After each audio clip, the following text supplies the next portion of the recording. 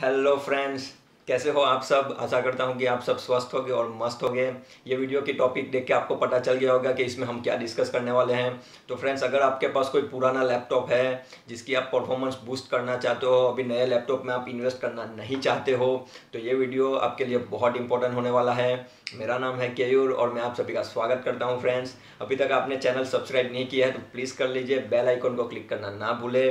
और फ्रेंड्स ये वीडियो में मेरे पास एक जो लिनोवो का एट साल पुराना है, उसकी मैं रैम अपग्रेड करने वाला हूँ और उसकी डेड बैटरी को रिप्लेस करने वाला हूँ। और ये आप कैसे कर सकते हो, वो सब ये वीडियो में हम लोग डिस्कस करेंगे फ्रेंड्स तो चलिए शुरू करते हैं. Let's begin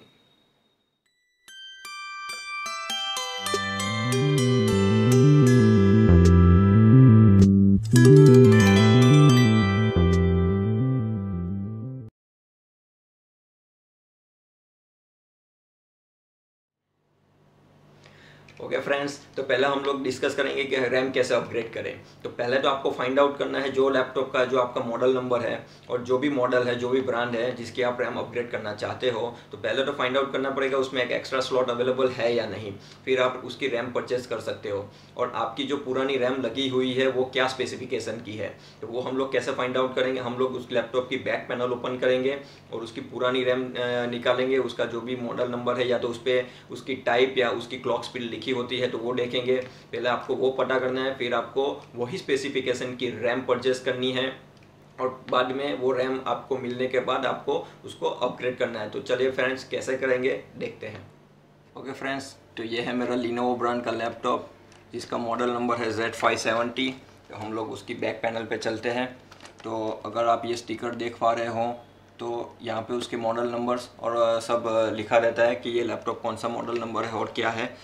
तो फ्रेंड्स हमको पहले लैपटॉप को उल्टा कर देना है, उसकी बैक पैनल को अप साइड ले आना है। तो अगर आप यहाँ पे देखोगे तो यहाँ पे एक पैनल दिख रही है। ओके फ्रेंड्स जिसको हमको ओपन करना है। अगर ये आप यहाँ पे सिम्बॉल्स देख पा रहे हो, यहाँ पे। ओके फ्रेंड्स तो यहाँ पे सिंबल बने हुए हैं हार्ड डिस्क के प्रोसेसर के रैम के। जो इंडिकेट करता है कि अगर आप ये पैनल ओपन करोगे तो आप उसको एक्सेस कर पाओगे। तो पहले फ्रेंड्स चलो आपके लिए मैं ओपन कर देता हूँ।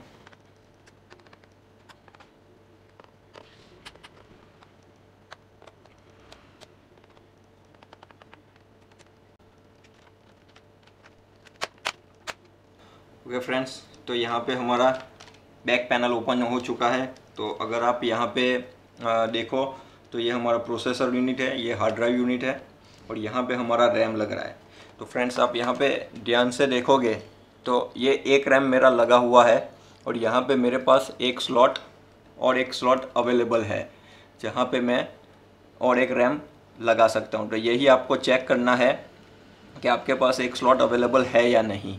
ओके फ्रेंड्स और दूसरा, अगर ये आप रैम की अगर रैम के ये सीरियल नंबर और डिटेल देख पाओ तो आपको पता लगेगा उस पर से कि आपकी अभी जो रैम लगी हुई है, वो कौन सी स्पेसिफिकेशन की है और आपको नई रैम जो परचेस करनी है, वो यही स्पेसिफिकेशन की आपको परचेस करनी है ताकि इसके साथ कंपेटिबल हो जाए।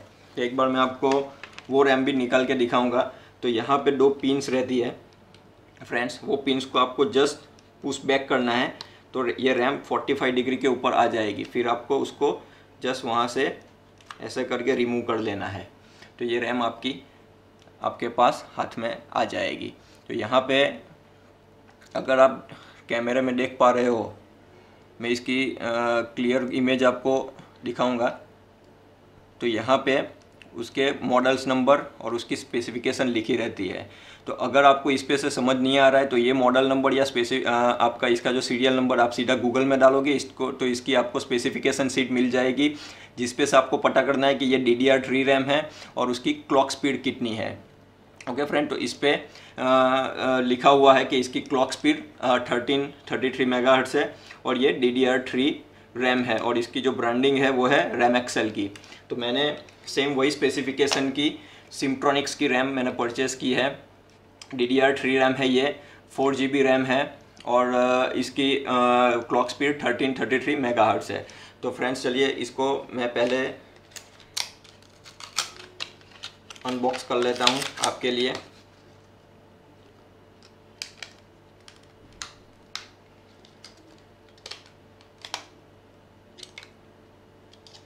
तो ये सिमट्रॉनिक्स की है। और ये हमारी जो लैपटॉप के साथ आई थी वो रैम है और ये रैम जो मैंने नई परचेस की है, ये इसकी कैपेसिटी भी फोर जी है और इसकी कैपेसिटी भी फोर जी है, दोनों डी डी और thirteen thirty three mega hertz की रैम है। इसमें आप डी डी की ज़्यादा क्लॉक स्पीड वाली भी रैम लगा सकते हो फ्रेंड्स लेकिन मैं आपको वो रेकमेंड नहीं करूँगा क्योंकि अगर आप आप, अगर नई रैम जो है आपकी, वो उसकी क्लॉक स्पीड आपकी पुरानी रैम से ज़्यादा है तो क्या होगा फ्रेंड्स ऑटोमेटिकली सिस्टम आपकी जो कम क्लॉक स्पीड वाली रैम है, उसके ऊपर ही परफॉर्म करेगा। तो आप जो ज़्यादा पे कर रहे हो, ज़्यादा क्लॉक स्पीड के लिए, वो आपकी यूजलेस हो जाएगी। तो मैं आपको रेकमेंड करूँगा कि आपकी जो पुरानी रैम की क्लॉक स्पीड है, वही आप क्लॉक स्पीड की रैम आप परचेस करें। तो चलो उसको हम लोग अंदर इंस्टॉल कर देते हैं।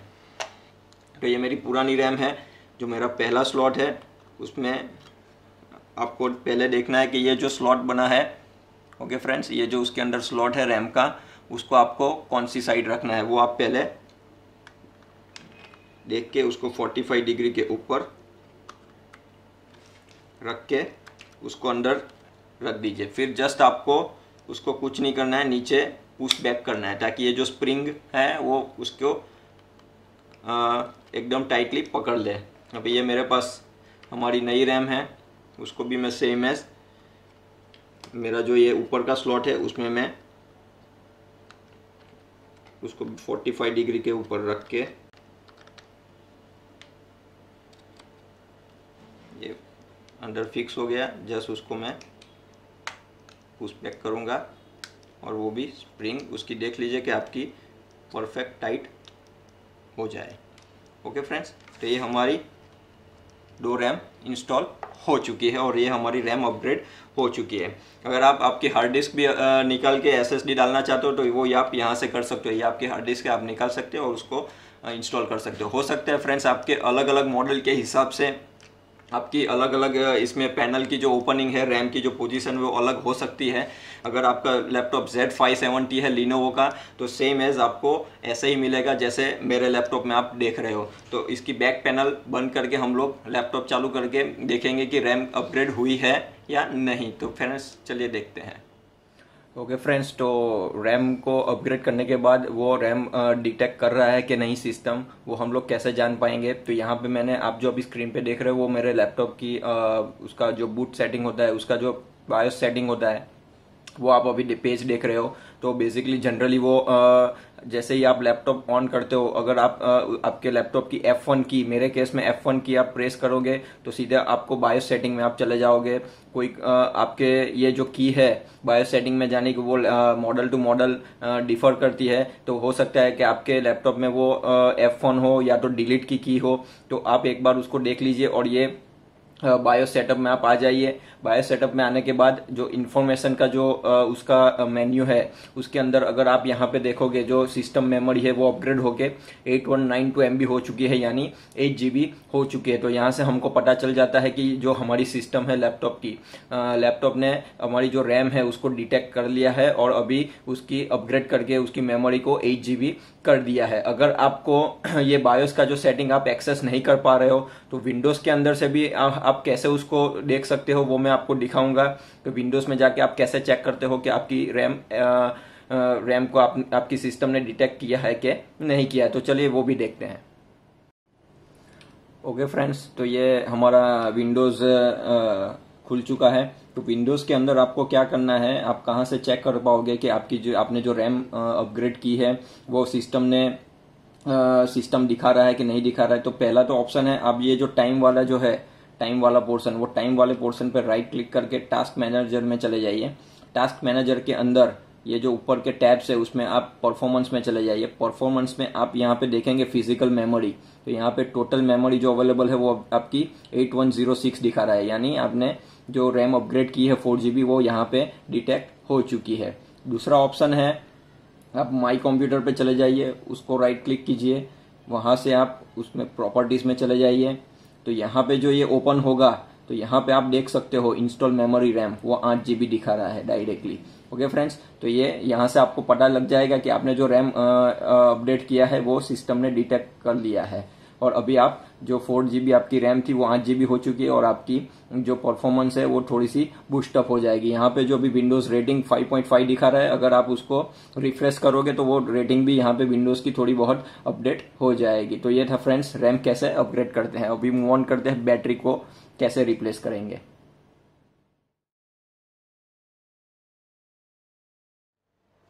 ओके okay फ्रेंड्स तो हम लोगों ने रैम अपग्रेड कर ली है।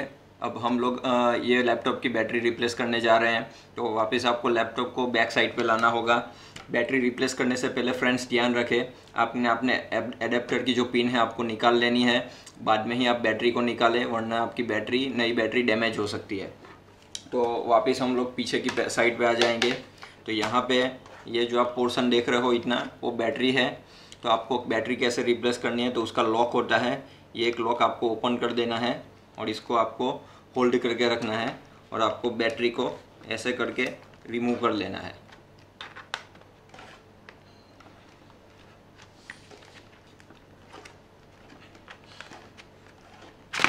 ओके okay फ्रेंड्स तो ये आपकी बैटरी रिमूव हो चुकी है। अगर आप यहाँ पे देखोगे तो बैटरी की स्पेसिफिकेशन लिखी रहती है कि कितने वॉट उसके कितने वॉट का आउटपुट है और कितने एमएच की बैटरी है। तो ये सेम स्पेसिफिकेशन की आपको बैटरी परचेस करनी है और उसको रिप्लेस करनी है। तो यहाँ पे जो मैंने जो ब्रांड की बैटरी ख़रीदी है वो है लैब गार्ड की। तो चलिए उसको हम लोग अनबॉक्स कर लेते हैं और उसको निकाल लेते हैं।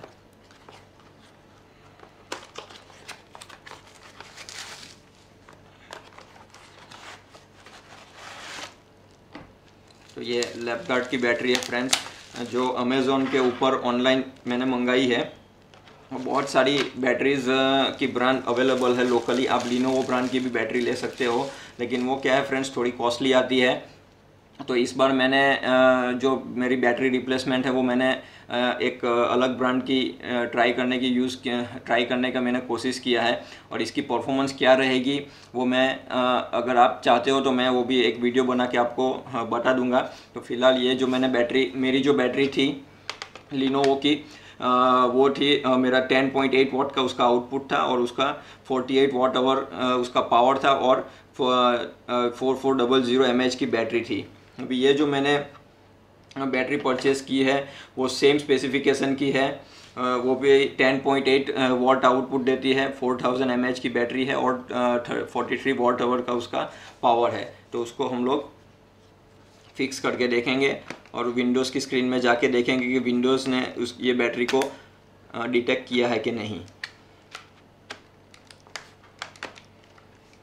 ओके फ्रेंड्स तो ये बैटरी इंस्टॉल हो चुकी है वापस ये लॉक को ऑफ़ कर देना है। तो ये थी हमारी बैटरी हम लोग कैसे रिप्लेस कर सकते हैं।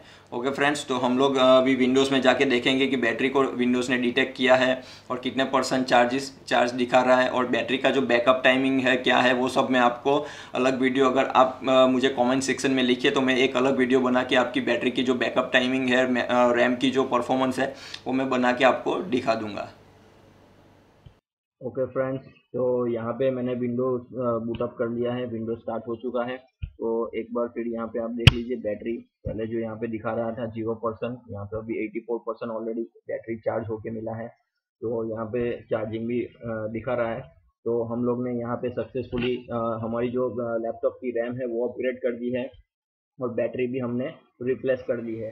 तो आप नमस्ते फ्रेंड्स आशा करता हूँ कि ये वीडियो आपके लिए बहुत इंपॉर्टेंट रही होगी, बहुत यूज़फुल रही होगी और ये वीडियो आपको बहुत पसंद आई होगी। तो प्लीज़ फ्रेंड्स ये वीडियो को लाइक कीजिए शेयर कीजिए और अगर आपको अपने लैपटॉप के कोई भी पर्टिकुलर मॉडल में रैम अपग्रेड करने में या तो बैटरीज को रिप्लेस करने में कोई भी आपको कोई क्वेरीज आ रही हो, कोई प्रॉब्लम्स आ रही हो तो आप मुझे शेयर कर सकते हो। कॉमेंट सेक्शन में आप मुझे लिख सकते हो। आपकी क्वेरीज को आंसर करने की मैं पूरे से पूरी कोशिश करूँगा फ्रेंड्स तो मिलते हैं अगले वीडियो में. तब तक के लिए स्टे ट्यून